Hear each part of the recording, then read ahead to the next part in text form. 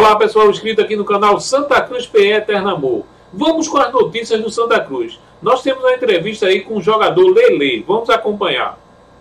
Vamos para a entrevista com o atacante Lele.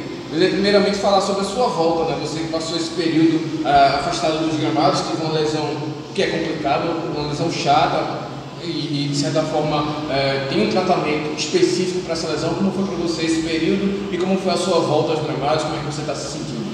Ah, primeiro dizer que fiquei muito triste né, com a minha lesão, né, no momento que o clube estava precisando, na qual eu vim para cá com o pensamento de ajudar da melhor forma possível. Né, infelizmente tive essa lesão, né, não era o que, que a gente queria, não estava nos planejamentos, mas felizmente né, pude voltar, né, fiquei muito feliz por, por ter voltado, né, participado, tentado ajudar de alguma forma.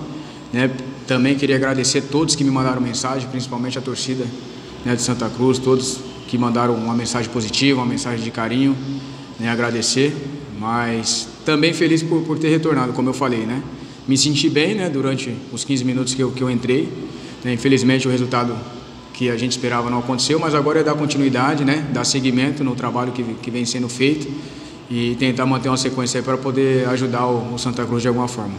A gente sabe que a situação de tabela é bastante complicada, mas ninguém assim entrega a toalha, principalmente uma das principais preocupações que eu vejo de vocês é respeitar e honrar a camisa do Santa Cruz em relação aos próximos jogos. Não, verdade, né? O que a gente tem que fazer é o que a gente tem feito todos os jogos, né?